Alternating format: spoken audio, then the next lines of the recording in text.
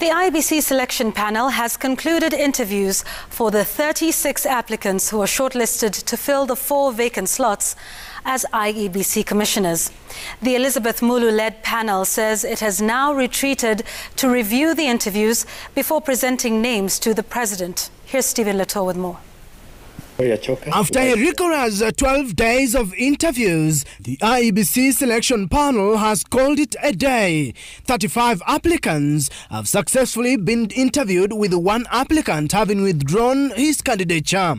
According to the panel chair Elizabeth Muli, the consideration of the candidates will be done in a transparent manner, adding that her team will remain true to the oath they took in order to give their country the best four commissioners to steer the IEBC the selection panel will forward the names of successful applicants to the president before they are presented to the National Assembly's Justice and Legal Affairs Committee for vetting and a report table for debate.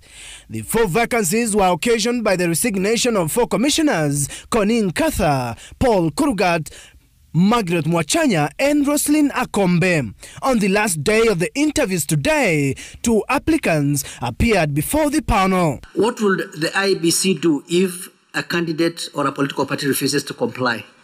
If a candidate fails to comply within the time frame that is provided uh, by the commission, then that candidate will be prohibited or barred from contesting in that particular election and in the next election. Successful candidates will join three other commissioners at the IEBC with a full in-tray that of planning and preparing for next year's general election as well as the boundaries review. Stephen Letoo, Citizen TV.